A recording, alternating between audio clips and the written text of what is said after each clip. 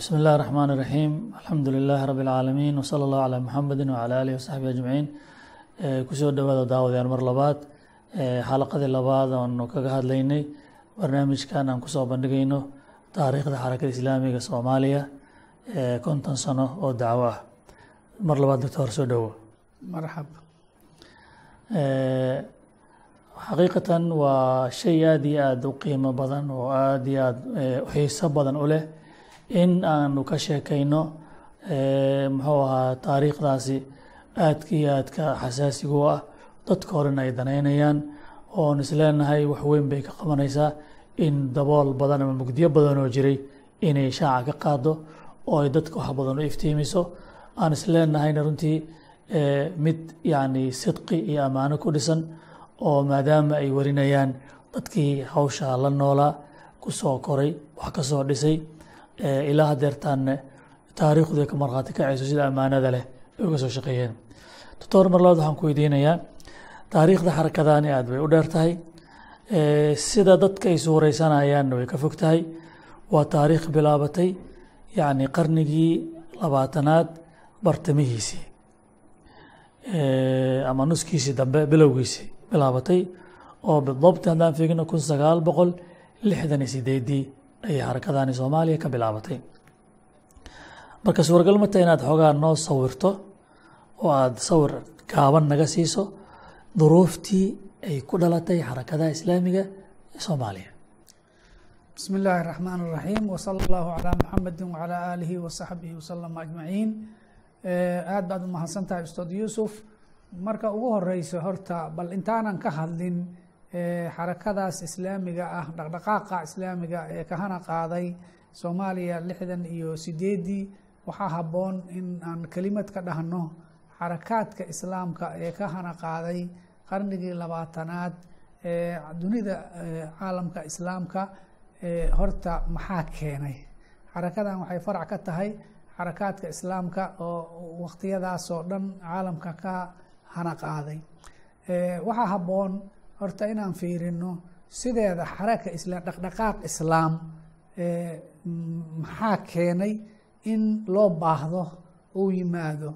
Waxaa keenay annaga oo warka o dhan iska soo gaabinayna waxa weeye maalintii rasuulka salawaatu ullaahi wasalaamu caleyh dowladdiisii uu ka dhisay madiina munawara kabacdina khulafaa'i raashidiin ay dhidhibada u sii aaseen caalamkao dhanna ay markii dambe islaamka intii badneed saddexdii qaaradoodoo waagaa la yaqiinay intii badneed islaamka xakumi jiray ilaa saddex iyo toban qarni ayay muslimiinta dowlad weyn oo caalamka laga heebeysta oo iida maamusho ilbaxnimo iyo cilmi iyo wax kastaba adduunka ugu horeysa ayay aheeday qarnigii labaatanaad qeybtiisii hore gaar ahaan marka taariikhda ay mareysa kun sagaal boqol labaatan iyo afartii ayaa dowladdii ugu dambeysay oo dowlad islaamah ay la burburiyey gaaladoo iskugu tagtay oo muddo saddex qarni ah ku dadaaleysay inay riddo waana dowladdii alkhilaafa alcuhmaaniya la dhahay khilaafadii ugu dambeysay islaamka. Taasi waxay ku noqotay caalamka islaamka oo dhan arrin aada iyo aada murugo u leh oo aanan weligoodna ay suureysanin muslimiinta inay dowlad la'aan ahaanayaan. Dowlad ay hoos harsadaan la'aanteed maba suureysan karinba. Haddee markii arrintaasi ay dhacday markaasaa baraarug caalamka islaamka ka bilowday oo la leeyahay sideen dowladdayni ku soo ceshanaa ama dowladba kali mee waxaa laga hadlaye shariicadii islaamka oo la isku xukumayey oo lagu dhaqmi jiray oo nolosha qeybaheeda kala duwan islaamka ilan waa diin dhammaystirane lagu dhaqi jiray oo intay gaaladii reer yurub yimaadeen dhulalkii islaamka ay qabsadeen ay gumaysteen waxa loo yaqaano gumaysiga ay markaa shareicadii islaamkana intay ka tuureen ay qawaaniin iyo dastuuro ayaga ay wataan ay ku xukumeen. Markaas islaamkii oo dhan baaba maqanba maxaaba laga sheegaaba dowladnimadiisi kalimaa ku dhaqankiisii iyo sharcigiisii iyo maamulkiisii dhammaa maqan. Markaasaa waxaa bilowday dhaqdhaqaaqyo islaam soo celin ah ama dowlad islaam in dib loo soo celiye ah ayaa bilowday.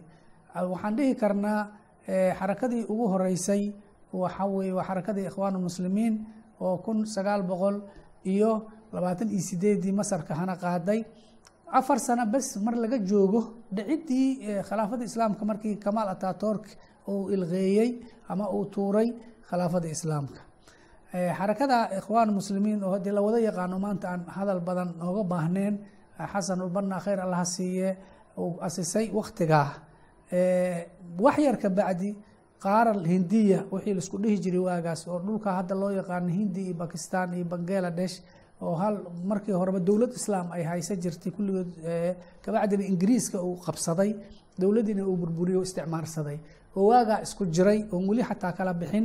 Muslimiintana markaa ay gobonimo doon ah ingiriis inay iska tuuraan ay rabeen ayaa waxaa ciidana ka hana qaaday xarakadii oo hogaaminayey abilacla almawduudi oo magaceedana aljamaca alislaamiya fii bakistan markii dambe saa loo yaqiinay.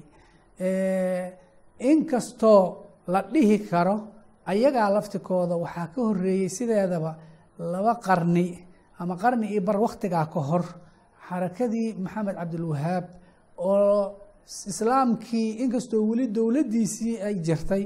Haddana inuu sii daciifaya oo weliba caqiidadoodii iyo dadkii akhlaaqdoodii wax badan islaamka ay ka halaabeen inta dareentay xaraka tawxiidiya oo dadkii caqiidadii dib inay ugu yeerta ahayd ay horey u jirtay. Laakiin markaan aan isticmaalka dhulka uu qabsaday kabacdi xarakaadka soo baxay weeye hadda midda aada noo khusayso oo si toos ana ugu yeelo doona saameyn xarakada aan ka taariikhay doono oo soomaaliya. Horta jawiga guud ama muuqaalka guud oo jiray markii xarakadan asismaysa waa halkaas. Adigoo mahadsan doctor ficlan taariikhda waa wax muhiima aada iyo aada u qiimo badan maxaa yeelay shalay wixii dhacay haddaan la ogeyn maanta si fiican ma loo fahmi karaayo. Khilaafa alislaamiya alcuthmaaniya saad tilmaantay saddexdii qarni ugu dambeysay waxay joogtay xaalad gaaloo dhan bay haweysanayso. Marka adkaanta gaaladu ku adkaatana runtii sidaad tilmaantay waa wax macnaha gudaheedana khalad ka dhashay iyo oo muslimiinta iyo sidii dhab ah loo baahnaa oo haysan waaye watankeenta marka xaragadii tajdiidigeeda sheekh maxamed cabdiwahaab uu ka dhex kaga dowladda nafteeda isagoo ku baaqaya mar labaad in caqiida tawxiid iyo iimaankii dib macnaha loogu noqdo isagoo u arkay macnaha musiibada muslimiinta ku socotay khatarta ay leedahay ficlan. Marka waxa weeye marka dhaqdhaqaaqa islaamiga wuxuu jawaab ka yahay yani muxuu ahaa dhicitaanka islaamka uu dhacay in dib loogu soo noolaado. Aad baa umahadsantahay marka bal dhaqdhaqaaqa isaga ah oo caalamka dhan ka kacay oo ikhwaankii ama bakistan ama xarakadii sheekh abdiwahaab marka dambe xaraka loo habeeye loo baxshay. Yani sidee marka yani dhaqdhaqaaqaas caalamigahay uu soomaaliya ku gaaray uuna uga hana qaaday soomaaliya? Waa mahadsan tahay. Waxaa la dhihi karaa waa ka soo daahay soomaaliya. Maxaa yeelay haddaan hadda dhahno xarakadii ikhwaan muslimiin masar labaatan iyo sideedii ayay ka hana qaaday. Intana hadda aan leenahay xarakada dhaqdhaqaaqa soomaaliya oo aan ka taariikheyneyno lixdan iyo sideedii ayuu inta ka hana qaaday. Wakti dheer baa u dhexeeya waktigaas inay isdhaahdana dabcan waxaa keenaya waktigaas waddamada gaalaha xukumaysay waa la kala xirnaa. Soomaaliyana haddee dad badan oo markaas maxaan waktigaas safarkana ma sahlaneyn wada xiriirkana ma sahlaneyn qalabkan hadda maanta wax lagu wada xiriirina saa uma jirin waxaa saasay horta dib ugu dhacday. Laakiin waxaa la dhihi karaa lixdameeyadii qeybteedii dambe ayaa saameynta xarakaadkaas waxooda ay soo gaareen soomaaliya. Insha allahu tacaala markan hoos ugu sii degnaana arki doonaa meelihii ugu horeeyey oo saameyntaas ay ka bilaabatay iyo dadkii sababta u ahaa ayib marka bal xarakadaasi islaamiga ee soomaaliya ka hana qaaday lixdan sideedii bal noo sheeg maxay ahayd? Tacriif yar ka bixi macnaha qeexid noogu sameeya. Waxaan rabnaa horta bal marka ugu horeyso xarakadan aan ka taariikheyneyno oo aan leeyahay dhacdooyinkeedii dadkii goobjooga u ahaa weliba inta badan meesheeda saldhigga ah oo wax laga go'aaminaya aada dhex joogtay aan leeyahay waa waxaan ula jeednaa xarakadii dhallinyarada ahayd oo dhallinyaradii aqoon-yahanada ahayd oo iskuulaadka iyo jaamacaadka yaryaroo waagaa jiray dhiganayay oo ayaga oo mutacalimiin oo aqoontan casriga ah yaqaana haddana islaamkii inta daraaseeyey wax badan ka fahmay dareemay islaamka inuu yahay nidaam noloshoo dhan in lagu dhaqa ay tahay dareemay. Oo markay taa dareemeenne kow tilaabadii koowaad ka bilaabay ayaga horta inay isku tarbiyeeyaan. Oo islaamkaas ay bartaan noloshoodana ay ku maxaa la dhihi jiray magacooda? Muxuu ahaa magac bay la bixi doonaan. Anaa gadaal baan ka sheegi doonaa laakiin hadda waxaan rabaa in xoogaa isku soo xiro. Horta sideeda maxay yihiin? Nuxurkooda waa maxay? Oo ah dhallinyaradaas soo kacday oo islaamkii daraaseynaysa iskuna dabaqayso markii intay daraaseeyeen ayagii ay ku noolaadeen oo ay wax dareemeen dareemay xil inuu ka saaran yahay inay ummadooda dacwadii islaamka gaarsiiyaan waxa jahliga ay ku sii socoto iyo gaalada sii marin habaabinaysana ay ka soo qabtaan ummadooda sidaasna dhaqdhaqaaq islaami ah ee bilaabay waa horta qoladaas weeye qolada aan ka taariikheyneyno waxaan jeclaa lahaa marka intii aanan maaragtay bal ayaga gelin inaan xoogaa ka sheego dhaqdhaqaaq ayaga ka horeeyey hal sano oo ka hana qaaday soomaaliya laftikeeda lixdan iyo toddobadii. Ayaan rabaa xoogaa inaan kelimad ka sheego. Hore u socdo sare maxaa la jiray waa nimanka waxaa weeye waa niman aqoon-yahano ah oo dhallinyaradan ka waaweyn oo jaamacadaha waddamada carabta wax ku soo bartay kuna sa kuna soo saamoobay dhaqdhaqaaqii ikhwaan muslimiinta oo waktigaa ka jiray waddamada carabta oo dhan ka wada jiray. Markii ay wadanka ku soo noqdeen iyagoo jaamacado ka soo baxo dad waaweyn oo aqoon-yahano ah runtii u qiirooday islaamkoodii iskuna dayey in ay ka bilaabaan dhaqdhaqaaq islaami ee soomaaliya. Maadaama marka dad waaweyn oo jaamiciyiin ay ahaayeen mar alle markay yimaadeen hay'adaha dowladda shaqaalo ka noqday ay ugu badneed wasaaradda arrimaha diinta iyo wasaaradda cadaaladda iyo macalimiin noqday ayaa waxay asiseen urur lagu magacaabi jiray annahda alislaamiya. Urur lagu magacaabi jiray annahda alislaamiya.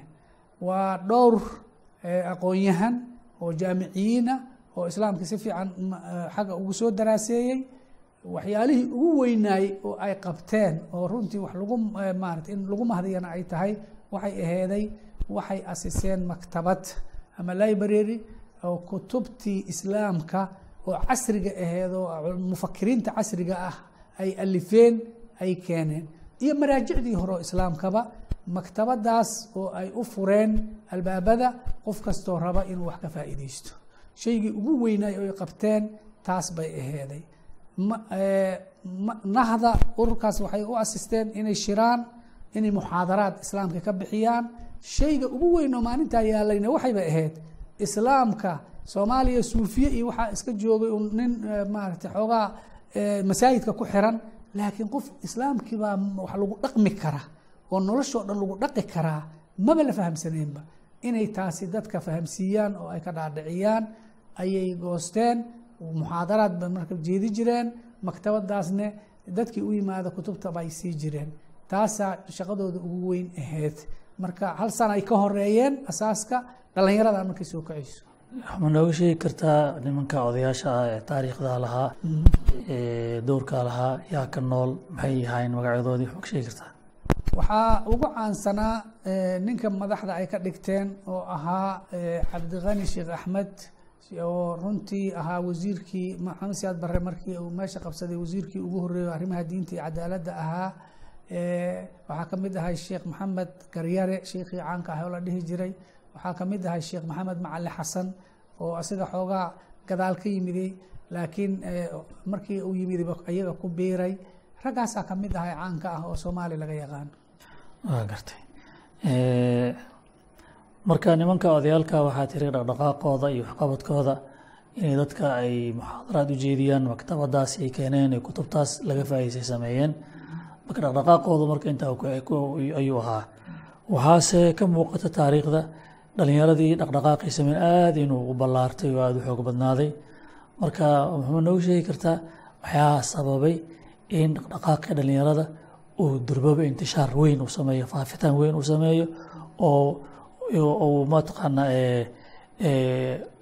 odayaashii waaweynaa culammada ahaa oo asaasiska ahaa wax badanna aan is leeyahay waa u tareen dhalinyarada nafta waxay u tareen inay ayagu ka muuqaalkooda soo degdego.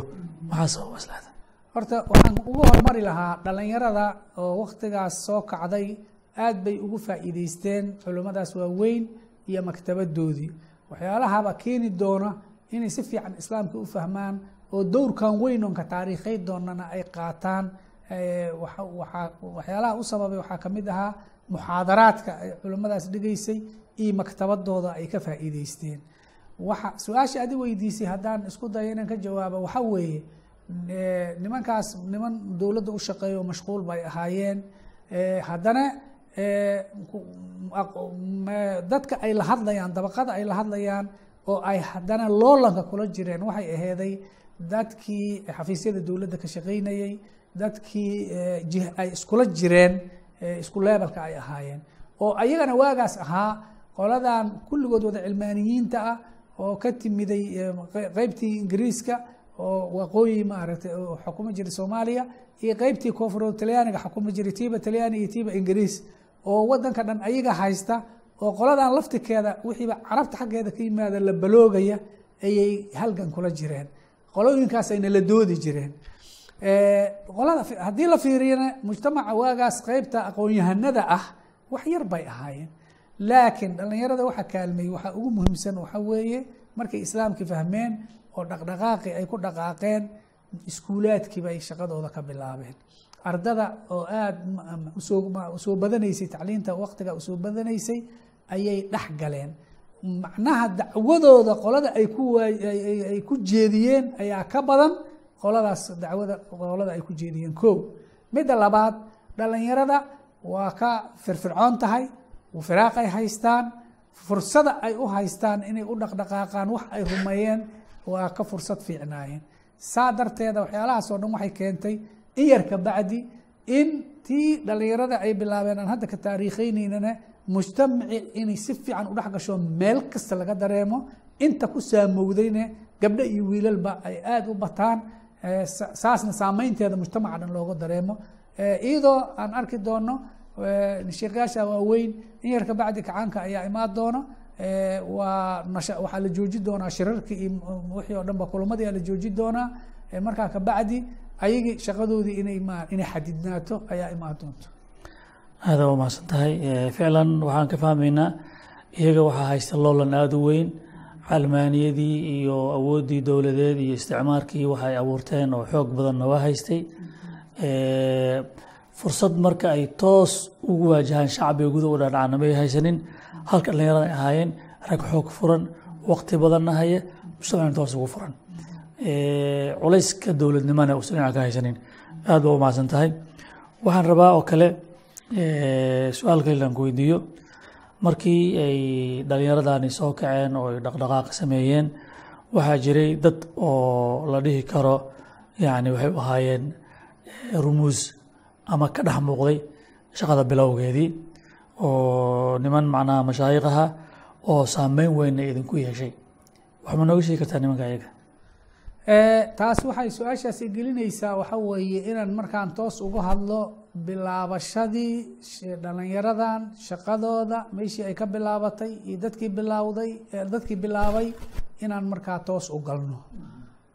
Waxaa la dhihi karaa iyaga intaanan gelin waxaa jiray sheekh la dhihi jiray maxamed ciise oo sheekh suufi ahaa oo masaajid ku yaalla xamar jajab maxaan ku iraahdaa saldhig ka dhigtay.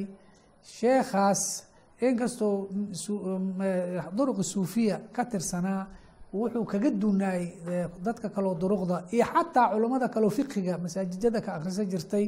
Waaa wuxuu kaga dunaa wuxuu ilaahay aada u dareensiiyey islaamka in la isku xukumo. Oo waxaan dastuurkan iyo qawaaniintan kaloo la dhiganaho talyaaniga uu noo keenayna ay khalad tahay. Arintaas baa si cajiib leh sheekhaas ugu saamoobay wuuna u dhaqaaqay inuu xaqiijiyo oo waxaa jirtay xataa talyaanigii intuuba joogay oo aan xornimada la qaadanin inuu halgan dheer bilaabay oo arrintaa ku saabsan oo warqado daadi jiray oo dhihi jiray kitaabka ilaahay ha nagula xukumo hana nagala duwa qawaaniinta kale.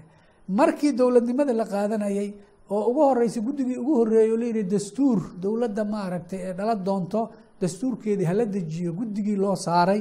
Ololo ba'an buu ku qaaday sheikhaas isagoo dhahaya annagoo dastuurkayna waa kitaabka qur'aanka. Uma baahnin dastuur gaala laga soo min guuriyey. Xat xataa inta la xamili waayey warkiisii la xiray ayay arrintii gaartay.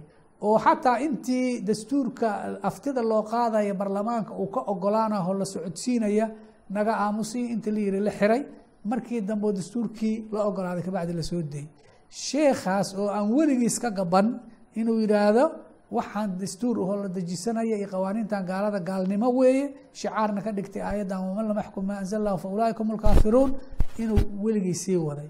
Waxaa jirtay marka dhalinyaradan wax asisi doonto qaar ka mid ah ayaa xirtiisa ka mid ahaa oo muxaadaraadkaas uu xukumka islaamka sida looga baahan yahay uu kaga hadlaya aayadaha qur'aanka xukumka khuseeyo uu kaga hadlaya dhegeysa jiray. Aad bay ugu saamoobeen. Markaas isla markiina waxay bilaabeen inay maktabadda qoladan hadladana ay ka faa'iideystaan weliba qoladeedii ugu horeysay wixii saaciiday waxaa ka mid ahaa dad carabiga garanaya iskoolaadkii carabta dhiganaya ayay ahaayeen. Ha noqdo ama kuwii masaarida ama ha noqdo machad sacuudiga maaragtay maxaan ku irahdaa soomaaliya ka asisayo machadi tadaamun la dhihi jiro iskuulkan hadda xamar la yihaahda uu sacuudiga dhisay. Tadaamun islaami la dhihi jiray dhiganay dhalinyaro waxaa soo baxday carabigii garanayso oo sheekhaana maaragtay islaamka haloo halgamadiisa ku saamoobay maktabadaana ku saamoobay ninkii ugu horeeyey oo aan tilmaami karno maadaama aad i weydiisay yaa ugu horeeyey nin la yihahdo sheekh cabdikariin xirsi oo macadka tadaamunka sacuudiga dhiga jiray carabigana aada u yaqiinay oo xad xataa uu ku gabya gaaray ayaa ugu horeeyey markuu arintaas isagoo dhalinyaro ah oo iskuulka dugsiga sare dhigta markuu dhaqaaqay haddee wuxuu isku dayey inuu dhalinyaro kale oo ayagana iskuulaadka dhigta inuu saameeyo.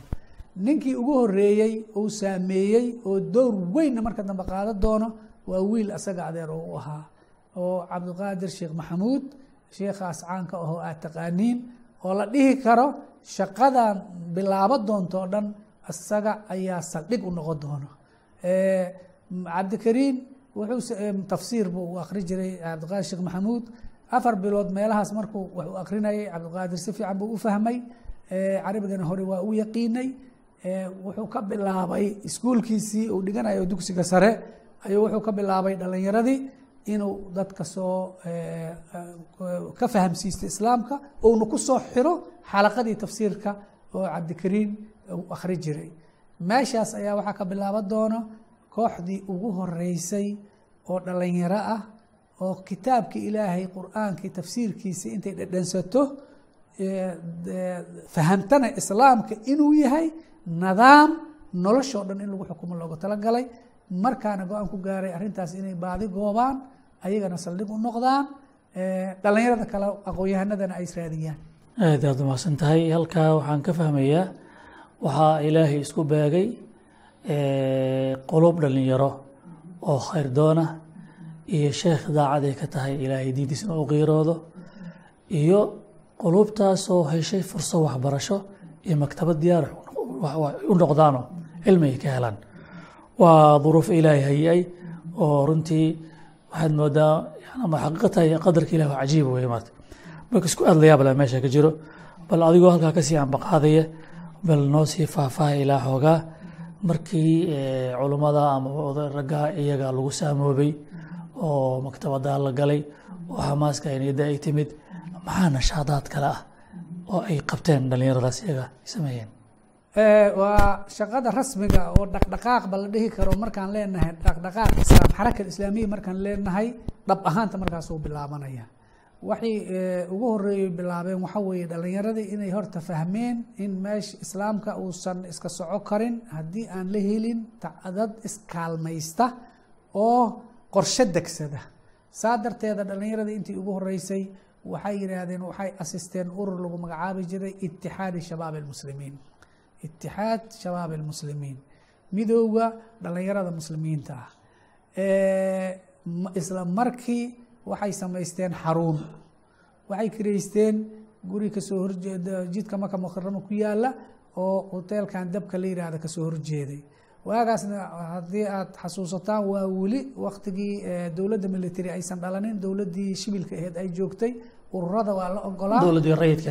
Dowladdii rayidka aheyd waa la ogolaa in qolo kasta ururo ay dhistaan ururkooda waa diiwaan gelshadeen wasaaradda dowladda oo arrimaha shaqada kule waa ka diiwaan geshadeen calam bay samaysteen timbar ay samaysteen urur la yaqaana bay noqdeen. Meeshaas ayaa xaruntoodii waxay ku bilaabeen duruus diini ah oo saldhig u yahay tafsiirka qur'aanka ah oo markaasna wax alla wixii waxay go'aan ku gaareen wiil kasta oo diintii sidaa u fahmay oo ayaga ka soo mid noqday in uu isku dayo iskuulkiisa ardada inta ugu akhyaarsan oo ugu nuxursan in uu keeno uu ku soo xiro xaruntooda uu ku soo xiro. Sidoo kale dhalinyarada saaxiibadiisa oo xaafadda ciyaal xaafadeedka qaraabada qof waliba qof waxa weye dhalinyarada ayagoo kaleo weliba mutacalimiinta ah oo wax la fahmi kara maanta adduunka meeshuu maraya la fahamsiin kara inuu keeno. Isla markii waxaa bilowday in iskuulaadkii ay ka soo heleen dhalinyaro tiro ah inay ka soo heleen. Oo raggii goobjooga waktiga u ahaa waxyaalaha ay qoreen ama ay duubeen waxaa ka mid ah muddo yar ka bacdi in dhalinyaradii ururkooda itixaadi shabaab muslimiin xubnaha ka noqday oo saxiixay buuggii ay meesha maaragtay dhigeen oo xubinnimada qof waliba isku saxiixayay inay lix boqol gaareen. Inay lix boqol gaareen oo weliba fatra yar. Haddee inkastoo lixdaas boqoloo iswada jilaysa aysan sida raggan ay hawshooda dad u tarbiyoobay oo wax fiican fahmay aysan ahayn ayaga laftooda nooc iska xisbi bay ahaayeen. Qofkii yimaado ururka ka soo mid noqon la yihahda waa ogol ha yihahda liiskaa lagu darsanaya urur ballaartay oo wadanka muuqaal iyo joogitaan ku leh xisbi camala xafiis u furan yahay oo magaciisa le ayay noqdeen. Halka aan ku ekeysanno maanta insha allah. Waxaa halkaa nooga muuqato muxuu ahaa jamaacadii ama xarakadii way dhisantay. Waxaa ilaahay isku aadiyey sheekh niyad wanaagsan oo ilaahay u qiirooday oo xamaas iyo ruux ku dalbaayey shareecada ilaahay loo noqdo. Dhallinyaro iskuul baratay tacliin soo qaadatay oo qalbigooda saafiya la kulantay muxaadaraadkaasi. Maktabad ay diyaariyeen niman culamo ah oo jaamacado ka soo baxay oo masaadirta islaamkusu keenay. Intaasoo is urursatay dhallinyaradii ka ambaqaaday halkaasi marka xarakadii sharaaradeed ka bilaabatay. Waxaan is leeyahay insha allahu tacaala bartaas ayaan ka bilaabi doonaa xalaqadeena soo socoto. Xataa nalqaakum. Asalaamu calaykum waraxmat